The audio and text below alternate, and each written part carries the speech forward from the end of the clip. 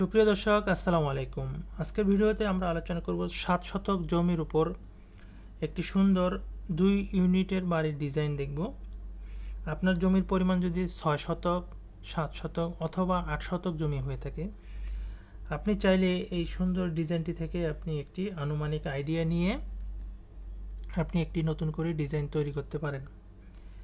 তো এই ডিজাইন থেকে আমরা যেগুলো ইউনিটের, যে দুটি ইউনিটের বাড়ির ডিজাইন দেখব, তো এর খরচ সহকারে প্রথম প্রথম ফ্লোরের খরচ সহকারে আমরা দেখব।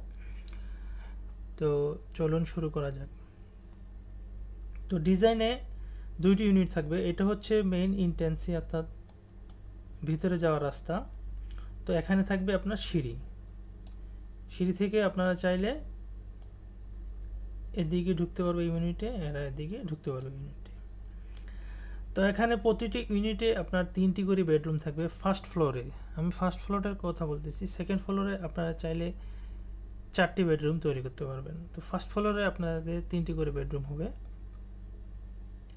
তো এখানে বেডরুম নাম্বার এক, দুই এবং তিন।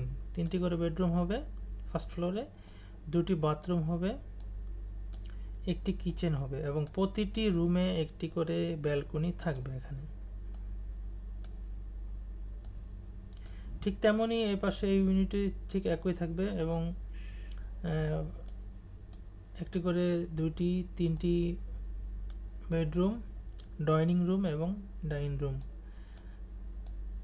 এবং দুটি বাথরুম একটি কিচেন তো টোটাল আপনারা এই দুই ইউনিটের বাড়ি থেকে এই প্রথম ফ্লোরে এগুলো পাবেন। তো এখানে রুমগুলোর দৈর্ঘ্য হবে তেরো ফিট বাই ষোলো ফিট এটা পাবেন তেরো ফিট বাই পনেরো ফিট এটা পাবেন চোদ্দ ফিট বাই তেরো ফিট তো ঠিক সেকেন্ড ইউনিটে ঠিক একই মাপটা থাকবে এবং ডাইনিং রুম থাকবে এগারো ফিট বাই দশ ফিট এটা পাবেন বারো ফিট বাই ষোলো ফিট তো এখানে দেখুন এটি হয়েছে যে অ্যাটাচ একটি বাথরুম পাবে, এই বেডরুম নাম্বার ওয়ান এবং বাকি যেই দুটি বেডরুম থাকবে এবং হল রুম, ডাইনিং রুম, তারা ইউজ করবে আরেকটি বাথরুম এটি। এটা হচ্ছে ফার্স্ট ফ্লোরে সেকেন্ড ফ্লোরে আপনারা চাইলে এখানে আরেকটি বাথরুম তৈরি করতে পারবেন। সেটা সেকেন্ড ফ্লোরের ডিজাইনের উপর নির্ভর করবে। তো এখানে আপনাদের যে খরচটা পড়বে, অর্থাৎ ফার্স্ট ইউনিটে খরচ যেটা পড়বে আচ্ছা খরচটা হিসেবটা দেওয়ার পূর্বে আমি আপনাদেরকে বলে দিচ্ছি, এটার দৈর্ঘ্য হচ্ছে পঁচাত্তর ফিট প্রস্থ পঁয়তাল্লিশ ফিট তো পঁয়তাল্লিশ গুণন পঁচাত্তর আমরা যদি গুণ করি,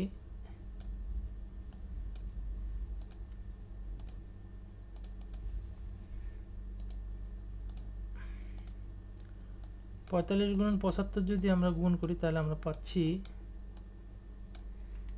জাস্ট সিম্পল আমরা হিসাব করে দেখব।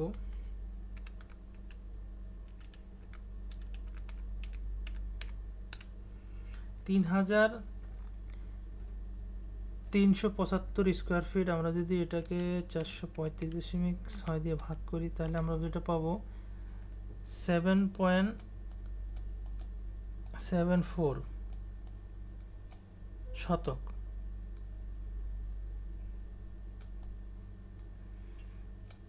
তো সিম্পলি আমরা আমরা ধরে নিতে পারি আট শতক জমি। তো এই আট শতক জমিনে আমাদের এই ডিজাইনটি আমরা করতে পারব। তো এখানে যখন সেকেন্ড ফ্লোরে কাজ করবেন, তখন একটু ভালো করে ডিজাইনটি করবেন। তখন চাইলে আপনি এখানে একটি, আরেকটি বেডরুম তৈরি করতে পারবেন। এই পাশে আর এখানে আরেকটি বেডরুম তৈরি করতে পারবেন। আপনি চাইলে মিডিলে এখানে একটি করে বাথরুম দিতে পারবেন। সেকেন্ড ফ্লোরে দোনো পাশে। তো তখন আপনার বাথরুম তিনটা করে পাবেন এবং কিচেন ডাইনিং রুম এবং চারটি করে বেডরুম পাবেন।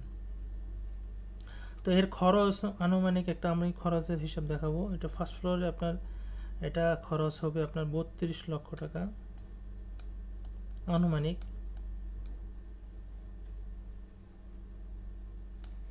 বত্রিশ লক্ষ টাকা আপনার খরচ হবে আনুমানিক ফার্স্ট ফ্লোরে কাজ করতে গেলে এবং সেকেন্ড ফ্লোরে আপনার প্রতি ইউনিট প্রতি দুইটি ইউনিট কমপ্লিট করতে আপনার ষোলো লক্ষ টাকার মতন খরচ হবে। ষোলো থেকে আঠারো লক্ষ টাকা। আপনারা আঠারো লক্ষ টাকা ধরে নেবেন, প্রায় আঠারো লক্ষ টাকা খরচ হবে। কমপ্লিট করতে গেলে। তো আশা করি আপনারা এখান থেকে একটা আইডিয়া নেবেন যে কীভাবে আপনার বাড়িটি তৈরি করবেন। যদি জমির পরিমাণ আট শতক হয়, সাত শতক হলেও আপনি পারবেন ডিজাইনটি করতে। তবে এখানে আপনার একটা কাজ করে নিতে হবে। এখানে যে ডাইনিং রুমটি রয়েছে, সেখানে আপনার এক ফিট এক ফিট করে কমিয়ে দিতে হবে। তাহলে আপনার সাত শতকে আপনার বাড়িটি হয়ে যাবে। তো আজকের মতো এখানে শেষ করব। ভিডিওটি ভালো লাগলে একটি লাইক দিবেন চ্যানেল সাবস্ক্রাইব করে সাথে থাকবেন। আল্লাহ হাফিজ।